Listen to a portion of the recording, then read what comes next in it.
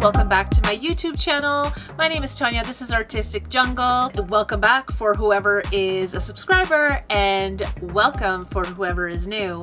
Before we get started, just a reminder, don't forget to follow me on Instagram and also don't forget to check out my shop on Etsy. And these are my actually new items from Etsy that I just made.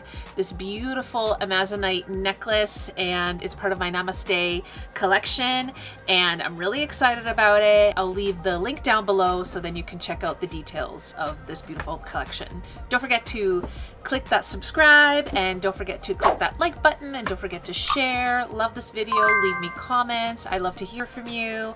And so today's video is to let you know some tips on finding the best sunblock for you. First and foremost, sunblock is the key component to anti-aging skin, which is really important. There's so many choices of sunblock when it comes to choosing one. It can get really, really confusing. There's just so many varieties of them and one does this, one does that, and what to look for. It could be a lot. So I'm here to make it easier for you and to simplify it for you so you can find the best one that's suited for you. Sun exposure is a highly aging accelerator. This is one of my favorite brands, Hawaiian Tropics. I absolutely love this one and they are cruelty free, which is fantastic. One of the things to look out for is UVB protection and UVA protection. So UVB protection is affecting the top layer of your skin skin. When you have UVB protection, it prevents redness, it prevents peeling, it prevents skin cancer, which is melanoma. And the UVA component is the deep layer of the skin.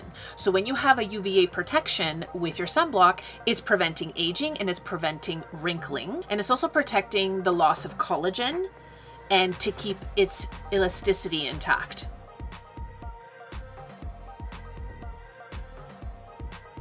Then you're also gonna look for titanium oxide. You wanna flip around the bottle and you wanna read the ingredients. The titanium oxide is supposed to be from like six to 8% or greater.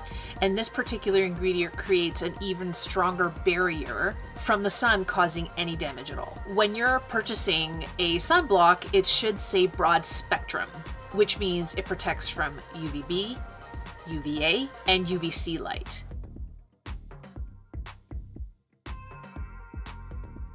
So I'm going to show you on the bottle, you can see it says broad spectrum. It has UVB and UVA protection. This one in particular, it is oil-free sunscreen. So I do have combination skin, which I do need oil-free because I have, you know, my T-zone gets really oily. The only issue I have with this is that it's not waterproof. In the wintertime, it's hard to find a sunblock that has waterproof along with it.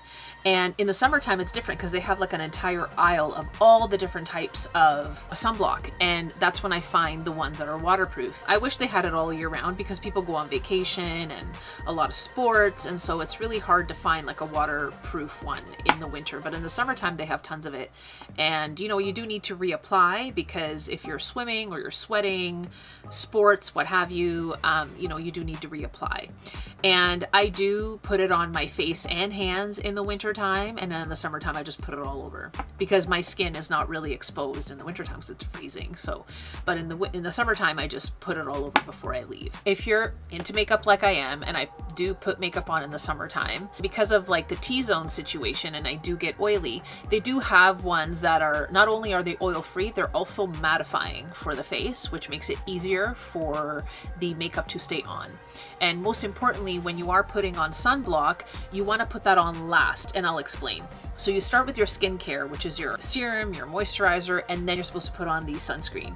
And then you can proceed with your foundation and your makeup routine and whatnot. Even though it's a cloudy day, the sun is still out, it's just covered by clouds. You still need the protection, which is highly needed. So now that I've helped you figure out how to find the best sunblock for you, start off first thing in the morning with your skincare and your sunblock routine and take it from there. It's so important.